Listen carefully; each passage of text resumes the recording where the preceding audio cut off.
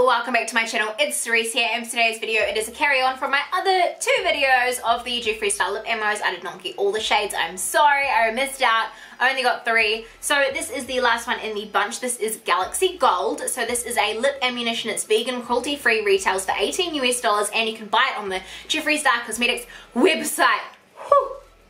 So yeah, let's dive on into this one. The packaging of this is stunning. This is the outer packaging here of the component. It is just a white glittery box.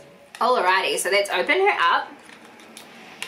And then, yes, on the side it says Extreme Pigment Creme Brulee Infused Highly Addicting Cruelty Free and Vegan. So it can be used alone or with a lip liner and it is one swipe coverage. And it smells delicious but you can't eat it. That's what it says on the side. Alrighty, so I opened it up too early. Let's get it real close and let's open her up and have a look at this shade Galaxy Gold here. It is so freaking stunning. Like, look at that. Yes. All right, so let's swatch her across here. I just like to swatch a few times just so I make sure I'm definitely getting the pigment on there. But that is Galaxy Gold. It's a beautiful gold shade. And now I'm just going to swatch it on my mouth. So come closer. Yes, all right. Oh, wow. That one definitely is a one swipe pigment. I actually really like that.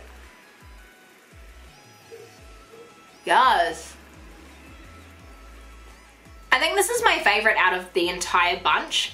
It's a really beautiful, beautiful shade going on. It's just such a rose gold color with the pinkness of your lips underneath. I really, really like this. This is Galaxy Gold. Ah, look at it. It's so pretty. It's probably not an everyday wear, but it's just it's such a gorgeous thing. Like it's just so pretty. I'm just like, I just want to eat it up like.